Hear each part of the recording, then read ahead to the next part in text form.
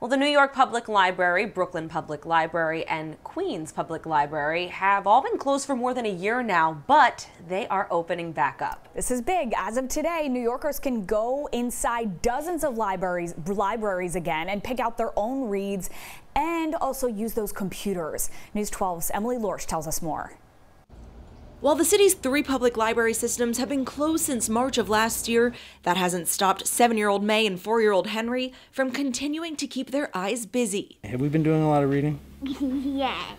But for the first time since these libraries closed, they're allowing New Yorkers to come back inside, not just to pick up books they put on hold, but to browse too. We were able to find some books that we didn't even know that we wanted. So it's really nice to be able to like walk around with them again and pick out books that you didn't plan to pick out. For May, Henry, and their dad, that means they're walking out of the library with their hands full. It's always more fun Uh, when you can touch the books. We got more than we expected today. New Yorkers can now also use the computers. There is a digital divide in Brooklyn and all throughout the city, and some people really rely on our computers to do homework, to do gig work, to send a resume, to sign up for a vaccine.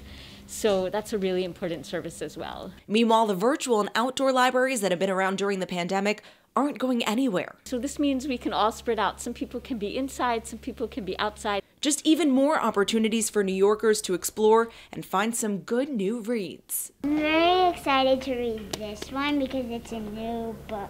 There's nothing like discovering a good book on the shelf. That's just such a joy. There are about a dozen libraries in both the Bronx and Brooklyn that currently have expanded services, and all branches are expected to have these services by mid July. In Clinton Hill, Emily Lorsch, News 12.